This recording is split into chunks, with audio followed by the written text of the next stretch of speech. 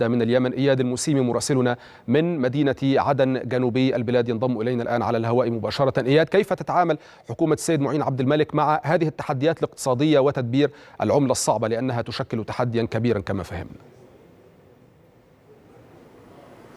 نعم زميلي أحمد. الحكومة أقرت رفع سعر التعرفة الجمركية أو سعر الدولار الجمركي إلى 50% أي من 500 ريال إلى 750 ريالا للدولار الواحد.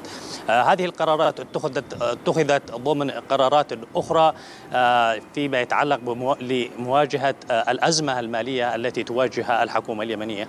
هناك كثير من من الأزمات المالية سواء فيما يتعلق بصادرات النفط والغاز وتوقف تصديرها أو ربما عدم وجود البدائل أو البدائل والأوعية الممكنة المالية سواء الموارد المالية شح الموارد المالية المالية التي تعانيها حكومة معين عبد الملك. هذه الإجراءات. اتخذت ضمن إجراءات أخرى. مسؤول حكومي أفاد قبل قليل أن مصلحة الجمارك أو مصلحة الجمارك اليمنية والضرائب أمرت برفع سعر التعرفة الجمركية من منذ 10 يناير من هذا الشهر. أيضا هذه الإجراءات ليس هي الوحيدة. هناك إجراءات أخرى اتخذتها الحكومة من بينها رفع سعر المشتقات النفطية وأيضا رفع رسوم العقود والوثائق وأيضا رسوم تصريح الأعمال.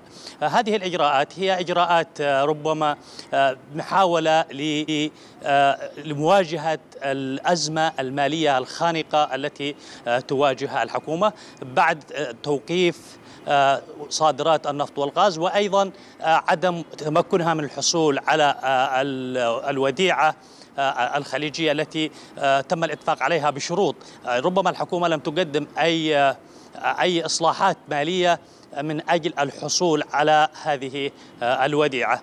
اذا هناك مجموعة من الإجراءات الحكومية التي اتخذت من أجل مواجهة الأزمة المالية الخانقة، لكن دعني أوضح لك شيء بس شيء مهم جدا، المواطن اليمني هو الضحية الأول لهذه الإجراءات، الرواتب لا زالت متدنية جدا، نسبة أو الراتب راتب الموظف الحكومي لا يتجاوز 50 دولار، وبالتالي فإن هذه الإجراءات الحكومية ربما ستزيد من معاناة المواطن اليمني الذي يعيش أزمة خانقة أزمة أسوأ أزمة إنسانية شهدتها العالم.